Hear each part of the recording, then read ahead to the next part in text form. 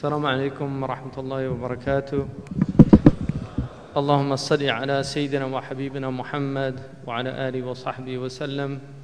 اللهم لا علم لنا إلا ما علمتنا إنك أنت العليم الحكيم. اللهم علمنا ما ينفعنا وانفعنا بما علمتنا وزدنا علما. اللهم افتح علينا حكمتك وانشر علينا رحمتك يا ذا الجلال والإكرام. وصل اللهم على سيدنا وحبيبنا محمد وعلى آله الكرام.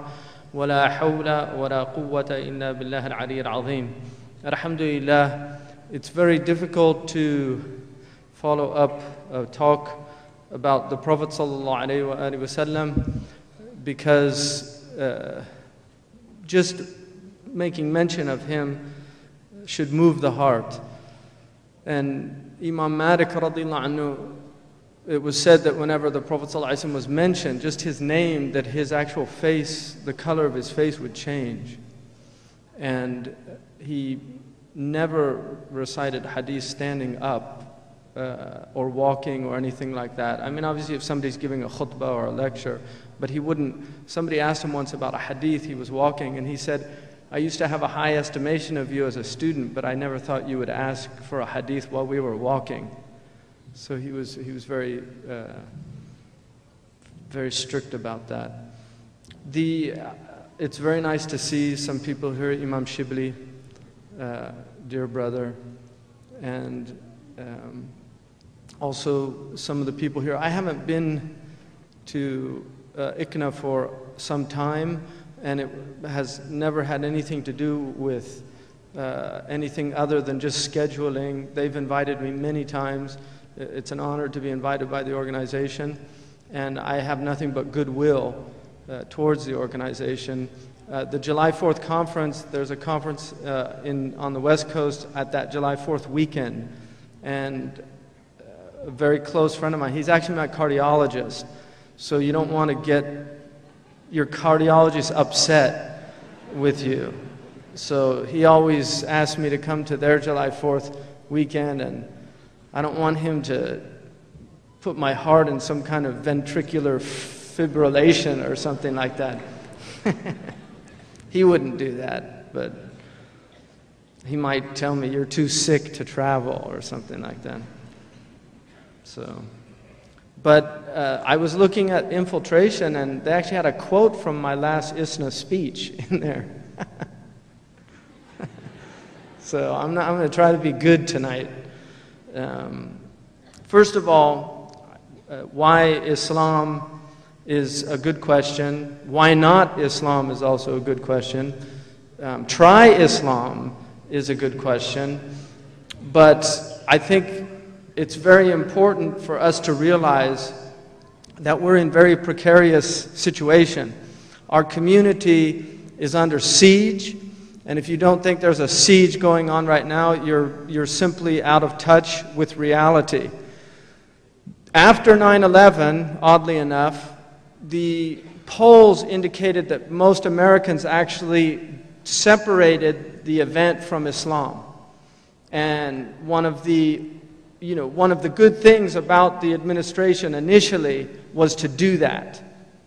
I mean, لا تبخسوا الناس أشياءهم. They, they really did try to distance and separate Islam from uh, the act, visiting a, a, masjid, all those things, those were important things to calm people down and, and, and try to place the community in the context of the fabric of American society. Unfortunately, since then, things have changed drastically.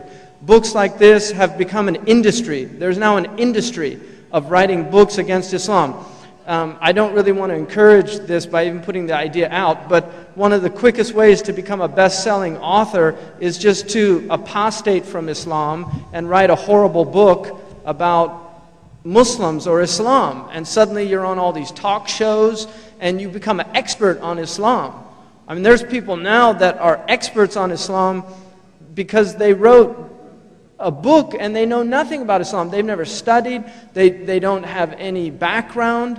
Um, and, but this is the condition we're in. And taking people who have apostated from Islam, who've, who've, who've left Islam, and putting them forward as people to attack Islam is a very clever strategy.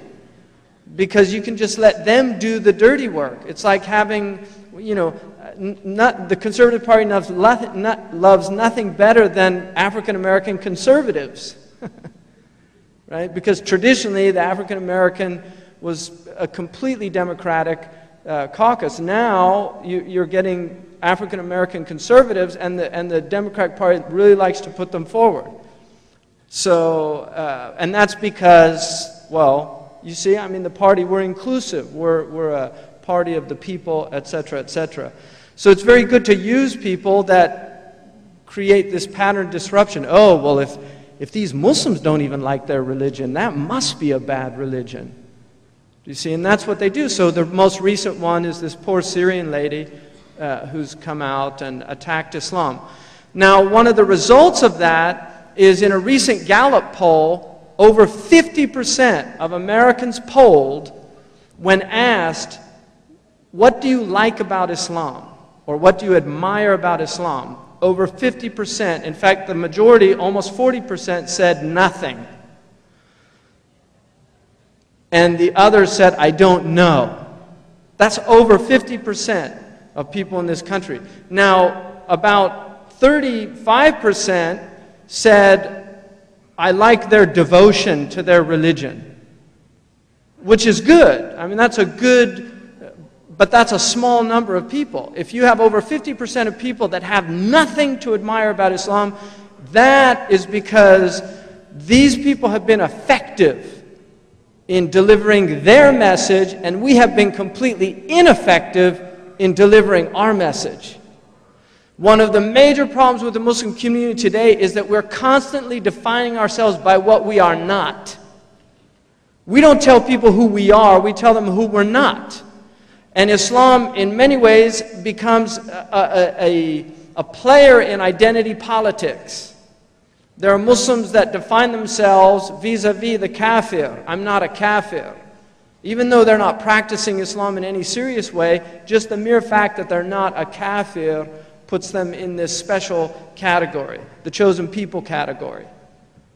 You see, so that's a problem. But then we're not constantly telling people we're not terrorists, we're not this, we're not that. Well, when you're under siege, defense is a natural response. So we have a very serious problem in this country, and believe it or not, the problem is worse in Western Europe.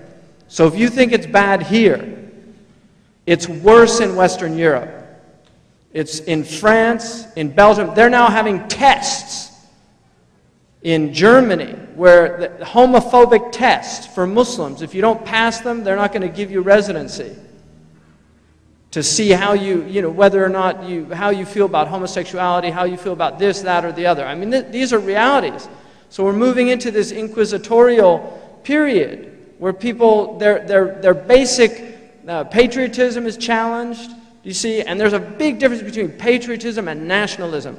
Patriotism is love of your country for its good and, and recognizing also that you have an obligation to change the things that are wrong about your country. Nationalism is just a blind belief in your country where you're not looking at uh, with any balance. That's not patriotism, which is why patriotism is the last refuge of a scoundrel. People will cling to patriotism. One of the things in this country, our community has failed and, and, and I include myself in this, and I'm sure Imam Siraj and others, I don't want to speak for them, but I, I, I think I know him well enough to say this, that, that in previous periods, in, in the, in, when I first started speaking in the early 90s, and that our discourse was not balanced. There's people that say, oh, well, you've changed. But if you see a tree when it's, it's young, when it's just sprouting out, and then you come back years later and the tree is is full grown or it's, it looks different. It's not the same. You, you could say it changed, but that's a natural evolution of, of a, a tree. If you're staying the same, something's wrong. You're not alive. You're dead. You shouldn't be saying the same. You should be growing.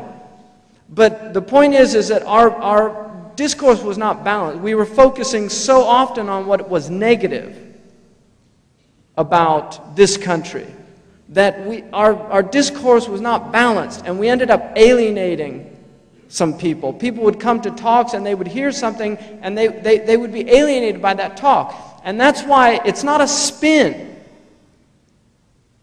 when you change that discourse. It's not for spin, it should, it should be based on principle.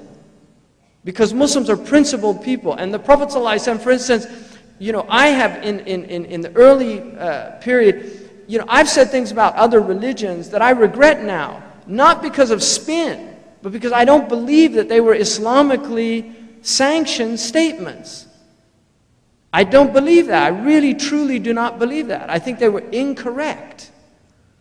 And, and I can't stand on that. You have to recognize what's true and what's not true in your discourse.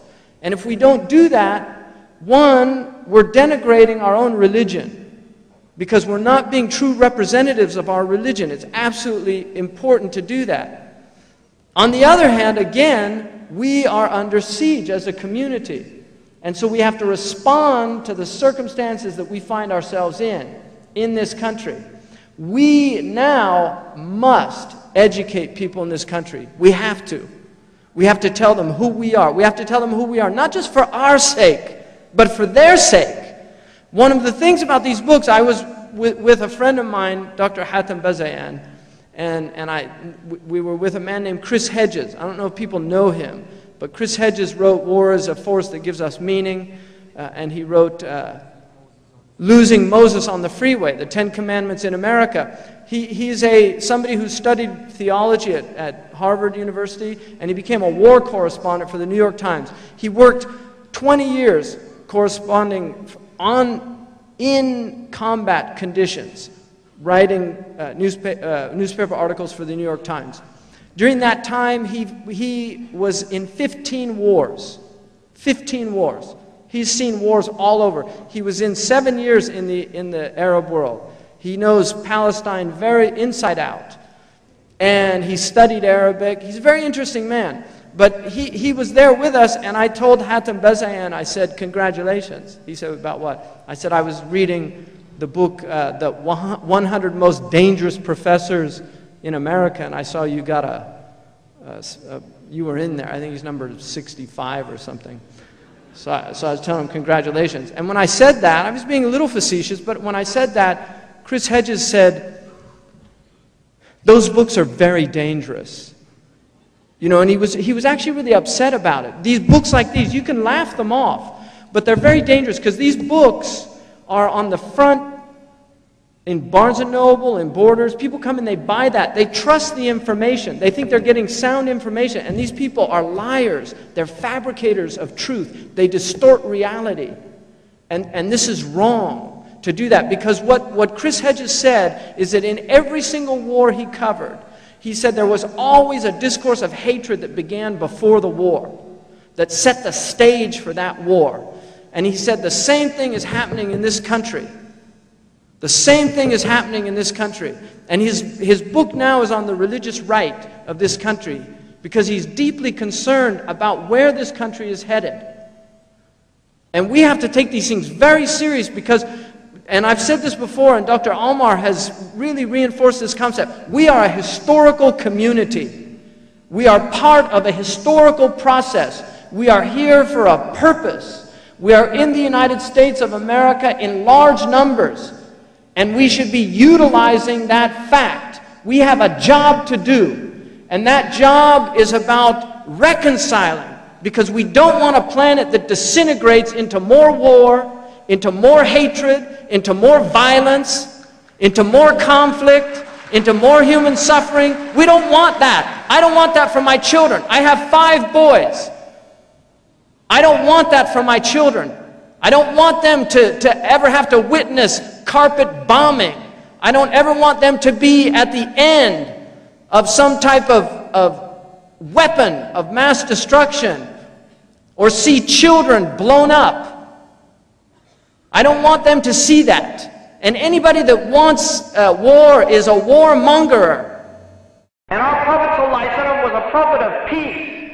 He came to bring peace. He did not come, he came in the midst of immense cycles of violence in the Arabian Peninsula. And he ended those cycles of violence. He ended those cycles of violence. He did not generate them. He ended them. And that was part of his historical role, sallallahu alayhi wasallam. He was a prophet of peace as much as Jesus was a prophet of peace. As much as any prophet that's coming because they call to peace. They call to salam. And that's what the prophet said after every prayer. Give me peace. Let me live in peace. Let me die in peace. Oh, giver of peace. This is the Prophet's prayer. The Quran says, كُلَّمَا أَوْقَدَ نَارًا لِلْحَقِّ Allah. Every time they attempted to flame, to inflame the war, put fire on the fuel of war, God put those flames out. Allah is Mukti al-Harb. That is an attribute that Allah describes himself with in the Quran, that he puts out war. So we can imagine how much greater would be the human suffering if Allah didn't stop so much of this harm. So we as a community have a historical role. We don't want to see this country go to war with Iran. We don't want to see this country go to war in Pakistan or, or any of these places. It's not good for this country, and it's certainly not good for the people on the other end. And this, this country cannot win a war with Islam. I swear to God, this country cannot win a war against Islam. I swear to God. It cannot win a war with Islam. Many, many people have tried in the past. It cannot win a war with Islam. It's a madness that needs to be stopped. It needs to be stopped, and we're the people that need to explain this to the American people. Not only is Islam not a threat, but it, it, has historically been able to live with many, many peoples. The first global community in human history is the Islamic civilization. The first globalized economy is the Islamic civilization. Muslims were trading with the Chinese. The Chinese were not Christians. They weren't even people of the book at that time. They were largely Buddhist and, and, and uh, Taoist. And the Muslims were trading with them. They had good relations. The silk trade is one of the great achievements of human civilization. Allah subhanahu wa ta'ala says, let your trade, your commerce be of mutual agreement. تجارة عن تراض منكم let this trade لا تأكلوا أموالكم بينكم بالباطل don't eat your wealth consume it uh, out of vanity unfair don't steal people's natural resources buy them from them and buy them at a just price and let them be pleased with the, pro- the with the deal that's what Allah says. And He says, let it be of mutual agreement, commerce. But if you go and you plunder people, I mean, there's a book here called Militant Islam Has Come to America. The only reason these militants have come to America is because militant America has gone to the Muslim world. If militant America didn't go to the Muslim world, you would not get militant Islam coming to America. And we don't want militant Islam. I don't want to see militant Islam. I want to see the Islam of peace. But there has to be mutual conciliation. There has to be respect. The Palestinian people have to be respected. The Kashmiris have to be respected. I mean, this is a truth. And this is not, I'm not speaking even as a Muslim right now. I'm speaking as a human being. There are people that can understand this that don't have to be Muslim. When you, when you use Apache helicopters, when you use F-16s against an armless people that have no means to defend themselves. That's simply wrong. That's wrong in any moral tradition on this planet. It is wrong. It is not right. And it needs to be condemned. When you create an apartheid system that was denounced in South Africa as evil, denounced in South Africa as evil, when you create the same system in another place, it has to be denounced as evil. You can't have something right in one place and it's not right in another place. It's right, it has to be right all over and it has to be wrong all over. And that's all we're asking for is an even playing field. That's all we're asking for. That's what we want. That's what we want in America and that's what we want in other places in the world. We want fairness. We want justice. There's people asking why the Muslims are angry. If you're not angry about the current social conditions, you're not alive. You're not alive. You don't have a human heart. If you're not angry about 50 million people in Africa that are suffering from AIDS and we're not, we're spending 1.001% of what we're spending on weapons of mass destruction. We're, we're spending billions of dollars to learn better ways of killing people, and we're not putting that money to learn better ways of healing people. That is wrong. It's simply wrong, and it needs to be condemned. It needs to be condemned. We have to condemn what is wrong. And we have to honor people that stand alongside of us. We have to honor them, whatever their faith, whatever their tradition. We can disagree with them on certain things, but when they stand up for what's right, we should be there to affirm that. I want people to go home and write a letter to Michael Bloomberg, write a letter to that man, write a letter to the New York mayor's office, and say, Congratulations for speaking up as an American, for defending the right of a man to dissent. Congratulations. Thank God there's still people in this country that are not capitulating to the worst forms of jingoism, of xenophobia, of hate speech. They're not conforming to it. Thank God there's still people that are willing to stand up and say, I might not agree with this man, but he has every right as an American to say what he believes. Because freedom of speech is part of this country's heritage and we have to defend that right. And I'm glad that I'm here right now in this state of New Jersey and I can say what's in my heart. Because I don't want an America where I have to be afraid of speaking the truth, where I'm going to be confused with some Qaeda sympathizer because I'm saying what's wrong with America. And the only reason I want to say what's wrong with America is so we can change it to what should be right with America. Because this is a great country. It's a country that has an immense amount to offer humanity. The CDC, if the flu virus breaks out, everybody in the world is going to be hoping that the CDC comes up with a solution.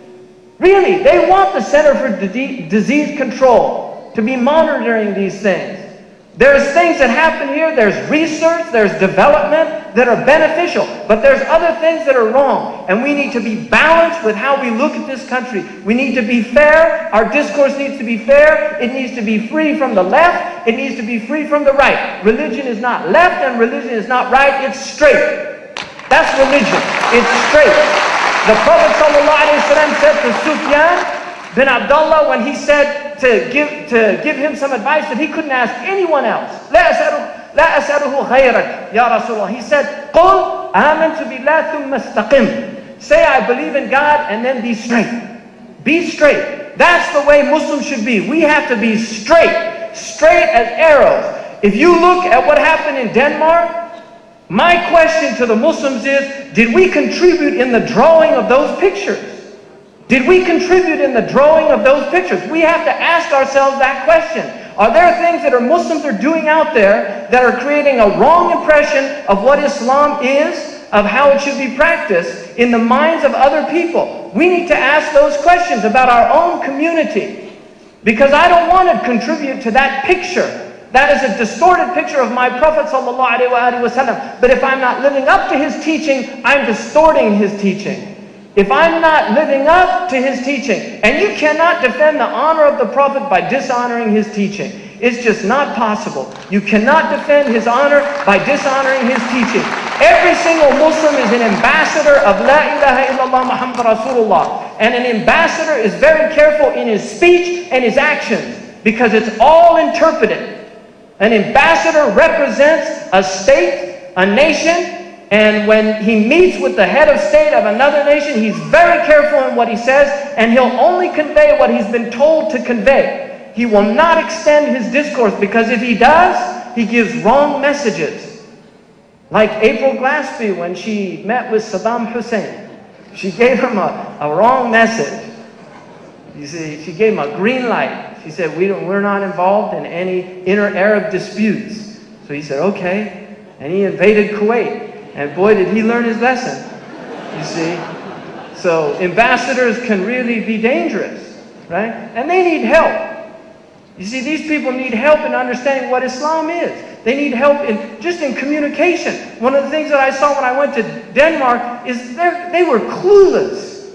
They couldn't believe they couldn't believe what happened. Really, they were clueless. We we interviewed most of the people that were interviewed on the streets. They were completely opposed to the cartoons. Completely opposed to them. The Danish people, they're very polite people, most Danish people. I mean, I, have been to Denmark three times. They're incredibly polite people. That's how I found them. They also had one of the finest refugee programs in Europe, which is why many Somalians, Bosnians, and other refugees went to Denmark.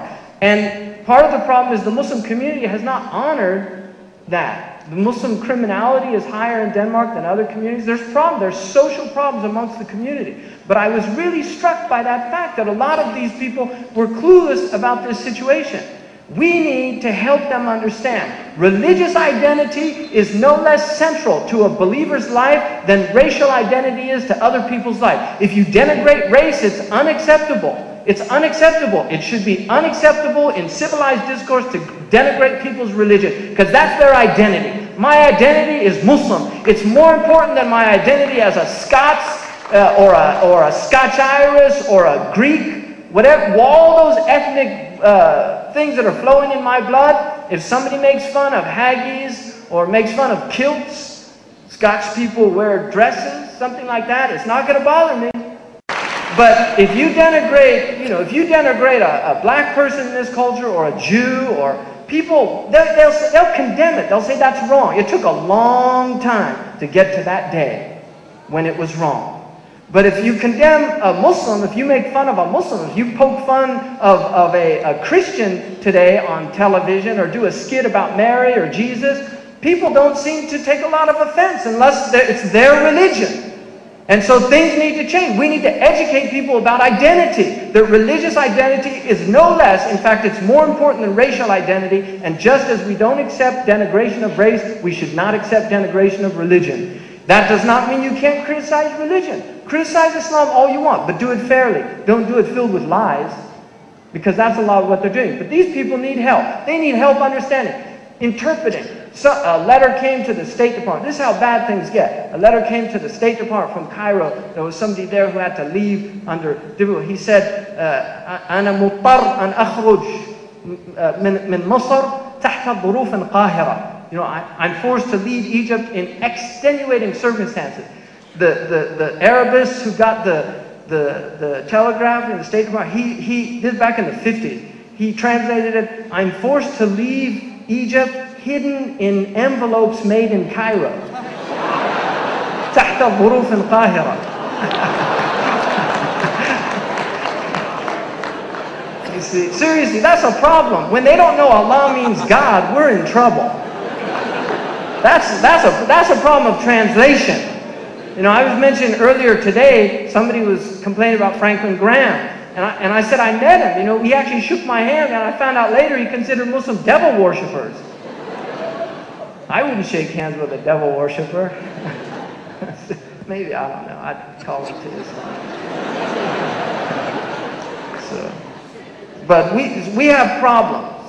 Seriously, we've got serious problems of translation, of, uh, of understanding. Now, finally, I'd like to say Joseph Nye, who's, he, he's an interesting man, but he, he's at Harvard, and he wrote a book about soft power and hard power, which is a very interesting concept. One of the things that he said is power. The nature of power is of two types. The hard power is military power. It's the ability to force people to do something. That's hard power. Soft power is persuasive power. It's the power to make somebody want to do something that you want them to do. And he said that America uses too much hard power.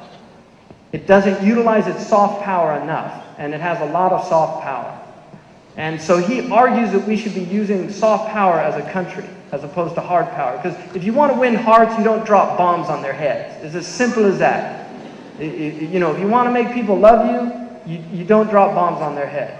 Seriously because they won't. They just won't like you. and the greatest recruitment for Al Qaeda, I mean, I'll give advice to the State Department any day on this one. The greatest recruitment for Al Qaeda is a current American foreign policy.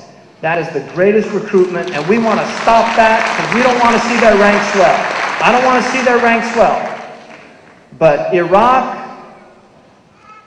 Seriously, look what's been done. It's, it's a tragedy. And now even the conservatives are backing out. Even Buckley's saying it's a, it's a mistake. They're all backing out now. They're washing their hands of it. Fukuyama, the whole lot of them. Seriously, they're washing their hands of it.